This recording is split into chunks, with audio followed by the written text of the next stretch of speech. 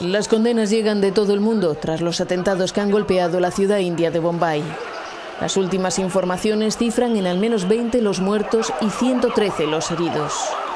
Se produjeron tres explosiones en apenas 20 minutos en zonas muy concurridas de la capital financiera de la India. Un explosivo estalló en pleno centro, otro en un gran mercado de plata y oro del sur de Bombay y el tercero en la Opera House, un enclave turístico convertido hoy en epicentro de la venta y el comercio de diamantes.